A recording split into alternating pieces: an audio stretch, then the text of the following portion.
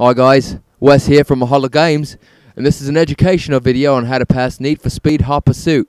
For more videos in the series, visit mahalo.com slash nfshpwt. And don't forget to rate, comment, and subscribe. Cheers, crikey.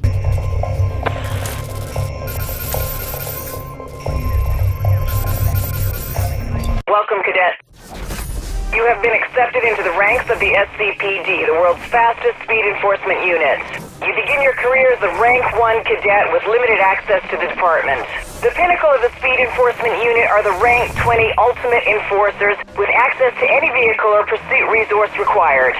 Your career with the SCPD will be measured on your performance in the field. All of your actions are monitored and recorded in the system as bounty. The more bounty you are awarded during an active mission, the faster you will progress through the comp ranks. With each promotion, you will be granted further access into the SCPD, meaning access to new vehicles, equipment, and missions. Basic busting procedure is to bring the suspect to a halt or force the vehicle to stop with excessive damage. As an interceptor, you are authorized to use any available force to bring the suspect in. The objective is to bust the suspect in the shortest amount of time, minimizing impact on the population of Seacrest County. All interceptor response cars are fitted with an SCPD nitrous system. Use this system to give your vehicle a short burst of acceleration, enabling you to close the gap or impact the suspect with more force.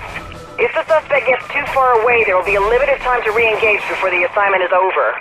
Stay close and stay sharp. Today you will be driving the Ford Crown Victoria. As you prove your value to the department, Command will make more exotic equipment available to you. Good luck.